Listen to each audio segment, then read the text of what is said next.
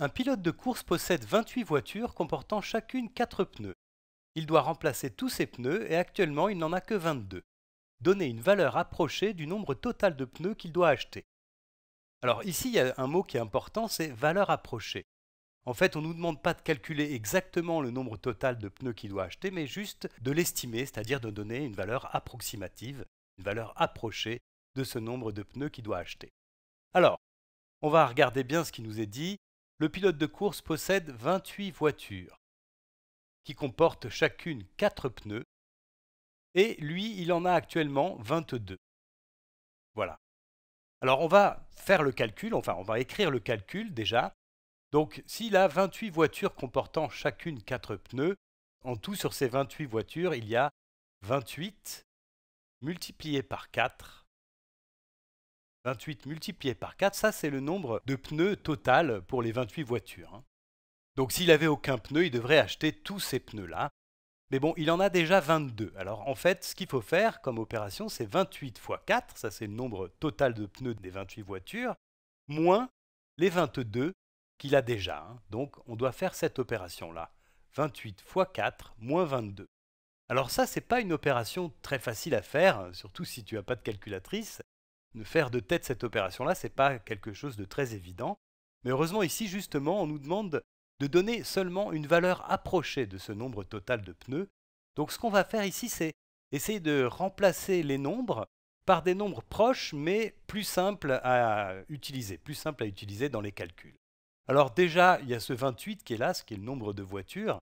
28, on peut dire que c'est assez proche de 30. Hein.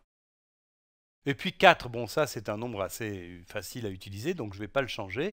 Par contre, ce 22 qui est là, 22, je peux dire que c'est assez proche de 20. Hein. Voilà. Donc ce que je vais faire maintenant, c'est euh, remplacer mon opération par euh, les nombres que j'ai choisis ici qui sont assez proches. Donc ça veut dire que en fait le nombre total de pneus qu'il doit acheter, c'est à peu près ça. Hein. À peu près, on a dit donc qu'il avait à peu près 30 voitures. 30 voitures multipliées par le nombre de pneus qui est 4 ça j'ai rien changé. Et puis donc je vais faire cette opération là et puis je vais soustraire à peu près le nombre de pneus qu'il a déjà. Hein. Donc il en a à peu près 20. Donc je vais soustraire 20. Je vais soustraire 20. Donc cette opération-là va avoir un résultat assez proche de celle-ci, et celle-ci est beaucoup plus facile à utiliser puisque les multiplications qui sont données là peuvent se faire très facilement de tête. Hein. Ici, 3 fois 4, ça fait 12, donc 30 fois 4, ça fait 120. Donc tout ça, tout ça, c'est égal à 120. Et puis on doit enlever 20 pneus. Donc on a finalement 120 moins 20. Et ça, bah, c'est assez facile à calculer quand même. 120 moins 20, ça fait 100. Donc voilà, on a trouvé très facilement, en faisant des calculs beaucoup plus simples, une valeur approchée du nombre total de pneus qu'il doit acheter. Et dans ce cas-là, on trouve qu'il doit acheter à peu près 100 pneus. Voilà, alors évidemment, on peut se demander euh, quelle erreur on fait, hein, quelle est la, grandeur de l'erreur qu'on fait quand on fait ces approximations-là.